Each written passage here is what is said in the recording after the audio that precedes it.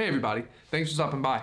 If you're looking for an exercise that's gonna help your left foot, I've got something awesome for you, okay? You wanna you wanna get your left foot like it's on steroids. You wanna get it under total control as good as your right foot, right? I mean, we all have that problem. Like our left foot seems like it just hangs out there sometimes and it's not as strong as our right foot. We use our right foot all the time. And the left foot on the hi-hat, it just sometimes it gets left out. Well, this is an exercise that's gonna change all that, okay? The only thing you're gonna need other than, you know, an instrument is uh, Gary Chester's book, New Breed. You can find that all over the place. It's super popular. If you don't have one yet, you gotta get one, okay? But regardless, if you don't have one, um, you can make up your own for now until you get one. Um, I'll talk you through the process. The idea is simple. The you know execution of it is can be pretty tough, but if you start off slowly, it's gonna be great.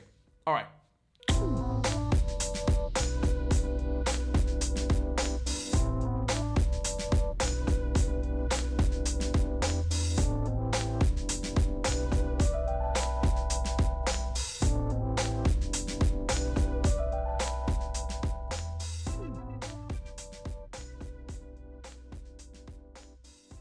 This is Gary Chester's The New Breed. Okay, you can see it here. Little up close. Boom! Smack! Okay. So this book is all about taking uh, certain reading exercises. Uh, it gives you melodies, melodies to work on, um, pairing them with um, different types of grooves in the other limbs. Okay. So what we're gonna do today is we're gonna set up a steady groove with our ride cymbal, our snare drum, and our bass drum. These three are gonna be really simple, okay? Bass drum, we're going four on the floor, not too loud, nice and soft, okay? Maybe even the softer the better. Sometimes I practice it feathering it. Um, sometimes I practice it a little louder as like a rock scenario. Whichever one you want is fine. Two and four, I'm hitting rim shots. I like them big and beefy. That's great, whatever. And then here, um, we're gonna play one and a two and a three and a four and a, uh, and we're going to accent the downbeats. The best place to start is just with those three instruments, okay? Before you even jump into reading the book, you need to have a metronome going. Oh, I forgot my metronome. Well, where is it? We're back. I've got my metronome. Once again, we've got, we're gonna start with the ride cymbal, the snare, and the kick all together. So I'm gonna play these three, and while I have the chance, I'm focusing on making really good sounds, staying really in time, and really even, okay? Let's set it to 72. And one, two, ready, play.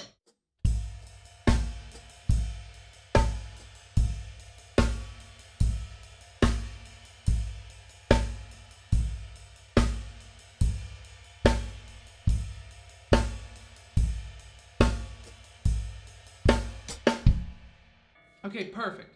Another way you could change that up is that you could put the ride bell on the downbeats, right?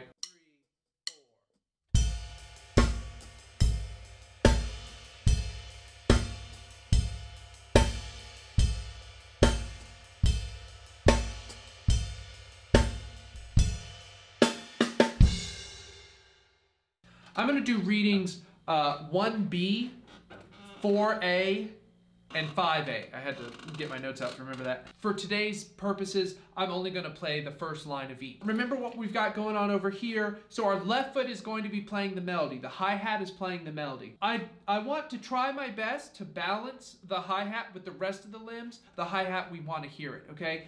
We're gonna start with reading 1B, that's page 15, okay? And we're gonna take each measure, do them four times each, and we're just gonna do the first line, okay? Let's give it a shot.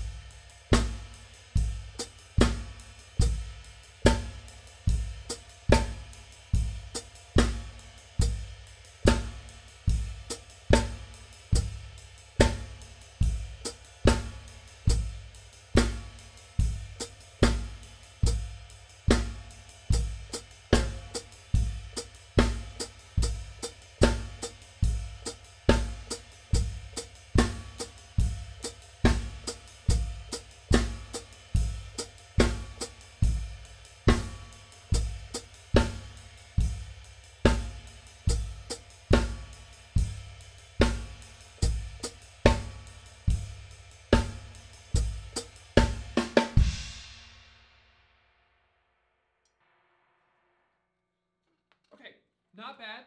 Okay, I got off from the metronome a little bit. That's just a little reflection on my part. Um, but you know, it is what it is. So uh, usually, if I make a mistake, I'm playing these for long enough. I definitely you never stop when you make a mistake. Okay, you play through them. You try to make sure that you uh, get back on. You listen really carefully but don't stop, okay? Never stop. If you're playing a show, you're in the middle of a song, stopping is the worst thing you can do. Don't practice like that, okay? Practice like you're performing. Now, let's go to uh, 4A. Definitely more challenging, okay? I skipped a couple pages here. There's lots more in between, but I just wanted to get through it so you could see. Four bars of groove, get into the melody.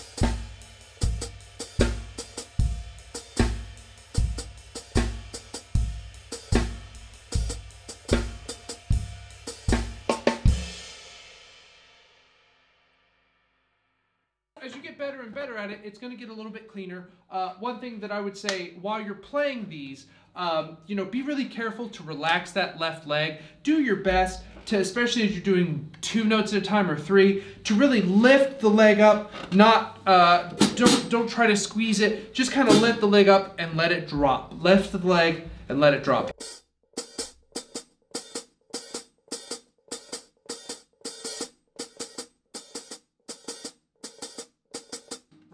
So the first motion for me is a lot with my leg, and then the secondary motions are with my ankle. That helps to alleviate a lot of the stress from playing that. Don't worry about if you get splashes or not. That's fine to me. I think that's great. It's a melody. It can, you know, do whatever. Yeah, so I mentioned before, if you make a mistake, not to stop. Uh, making a mistake is actually a good thing because it helps you recognize maybe what your weak point is, and then you know immediately what you can do to improve on it. So what I would do is when I make a mistake on a certain measure, I'll take it and I'll just loop that measure until I know like it's it's in there, it's ingrained, and it's not going to leave me. Okay, so that's that's a really uh, that's a really big part of playing these is to do do these over and over again until you can't lose them. Uh, you may have noticed that I took my eyes off the music from uh, once I got the hang of it, right? So the idea behind these is especially look at them the first couple times and then take your eyes off of it. See if you can play it from memory, right? Internalize it. Hear it in your head. Hear that melody, right? You've already got all the lit, the you know these three on autopilot. Have that left foot really act like a true melody and play it from memory. Okay, so it's this own thing floating above everything else. Now, full disclosure. I've never read page 22, not yet. 5A, reading 5A that means I'm gonna need to slow it down considerably and take my time, okay? So this would be my process if I'm doing these for the first time, right? So I'm playing the groove, but I'm playing it nice and slow. Let's play it here.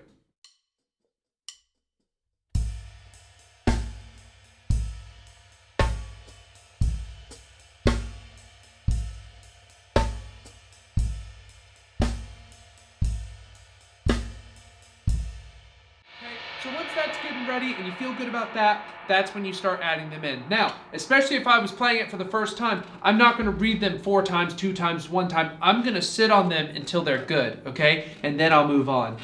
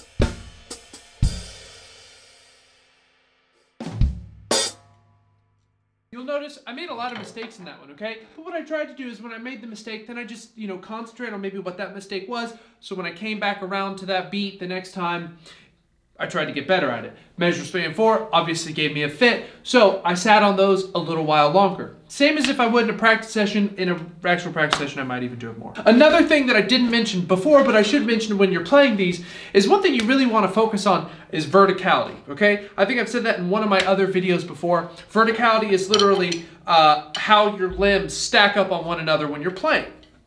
So we want to have good, strong vertical notes, right? We don't want this sound when we mean to play all four notes at the same time, we want to have this sound. Everything hits as one. So when you're playing grooves, you get much tighter feels.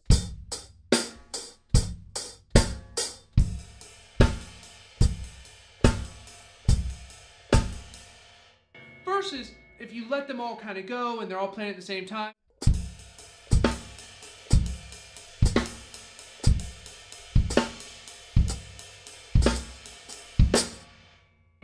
That can be cool in some settings, but in spe other specific settings, maybe not quite as cool. Thanks for stopping in today, guys. I really appreciate it. I hope this helps. If you do this for a long enough time, your left foot is gonna be special. Go mean green, go cats. Catch you later. Bye.